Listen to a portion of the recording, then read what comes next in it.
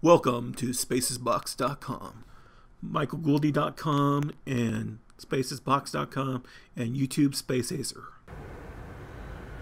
Hey, this is Space, and this is my car.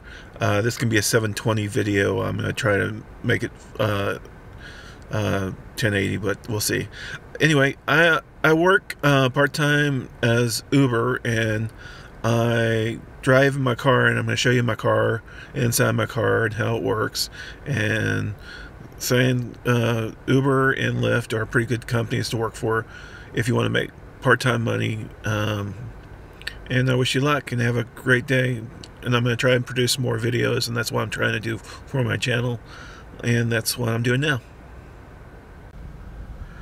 To be successful on Uber, you need to have a mounting thing for your phone so you can use it to drive around.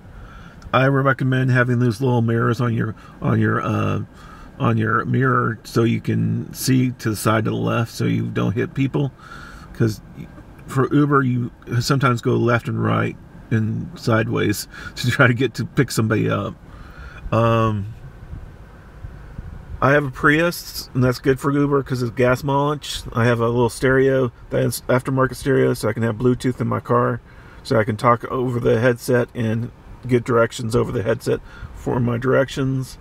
Um, uh, I got two cup holders, so people can bring cups in here.